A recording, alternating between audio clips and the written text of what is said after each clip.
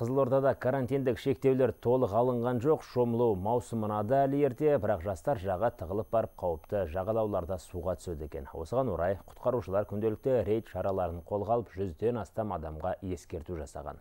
Нұрлан Жақыпбеков тарқатады.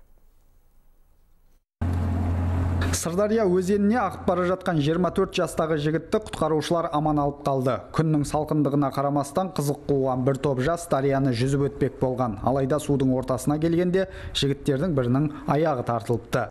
бәсекелесіп арғы бетке өтем деп өткен біреуі біреуі алмай қайтып ортада қалып қойған аяқ қолы тартылып сосын сол бойынша көмек сұраған құтқарушылардан 112 телефон арқылы сол 112 бойынша бізге хабарлама түсті хабарлама бойынша барып құтқарушылар үш құтқарушы бір лемелі қайықпен барып жағаға шығардық Сырдария өзенінің бойында суға шомылуға рұқсат берілген үш аумақ қана бар, қалғаны қауіпті. Сол себепті құтқарушылар өзен жағасына ескерту тақталарын орнатып, түсіндірме жұмыстарын жүргізуде.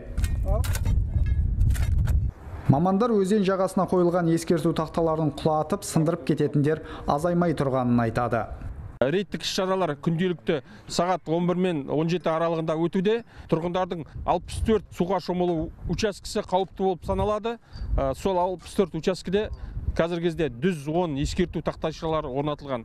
Ә, осындай ә, қауіпті учаскелерді сырдария өзенінің бойында басқа су айдындарында анықтау жұмыстарын жүргізудеміз және сол қауіпті учаскелерге ескерту тақтайшаларын орнату жұмыстары жалғасуда.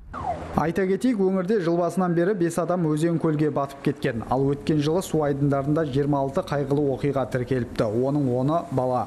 Өңірде рейд шаралары басталғалы судағы қауіпсіздікке бейжай қараған 115 адамға ескерту жасалған. Нұрлан Жақыпбеков, Әлхайдар Тұрлыханов, Хабар 24, Қызылорда облысы.